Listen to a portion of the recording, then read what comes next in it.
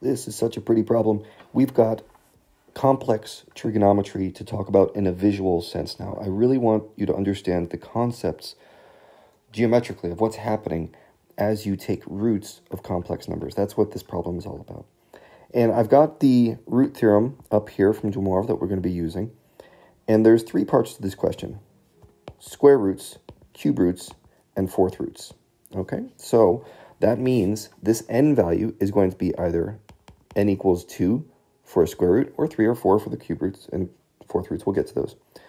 And what we're going to do is we take all these numbers which are on the unit circle, meaning they all have a modulus of 1, and that's helpful. We're going to be taking square roots of them and cube roots of them and so on.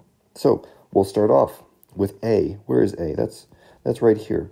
So if I take the square root of that, I should be able to find its, its location in some of these other points around the circle. And here's why.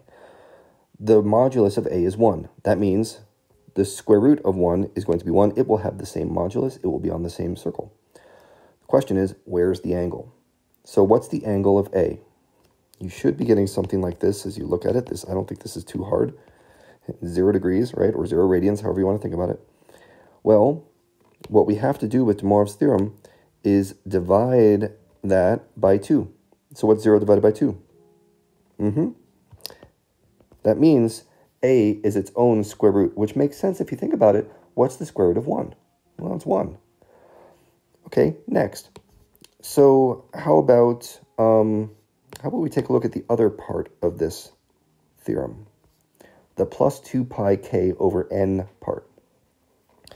Well, 2 pi times 1, remember k equals 1. I'll, make, I'll be more clear. For square roots, these are your roots, w0, w1. For the second root that I'm going to be looking for here, k equals 1. So that makes 2 pi over 2, which is just 1 pi. So what is 0 plus pi?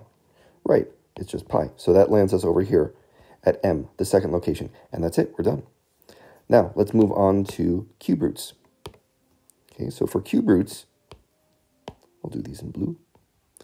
In cube roots, we're going to be setting n equal to 3. All right, that's the third root over here, and all the n's go to 3. Well, what's the third root of 1? Right, it's just going to be 1. So we know it's still going to be somewhere on this unit circle. The question is, I need to first divide 0 degrees by 3. Well, that, that lands me at the same position. A, again, it's kind of funny. And then um, as you add portions to it, we're adding portions of 2 pi over 3. So the first portion of 2 pi over 3 is going to land me here at i. And the second portion of 2 pi over 3 is going to land me here at q. All right? So, oh, uh, okay. I misread the problem. I was taking the cube roots of a. Sorry about that, but you, you see how it works with finding angles. Uh, I guess you'll have to do j on your own. I'll do, let's do uh, this last part. Do this last part here. What is the fourth root of the complex number q? Okay, so first, let's go ahead and actually find q this time. Boop, boop, boop. Here we go. There's q. So what is its angle? It's at 240 degrees. So the first thing we do is we're going to divide that by n. And what is n for this problem? Well, when you're doing fourth roots, n is 4.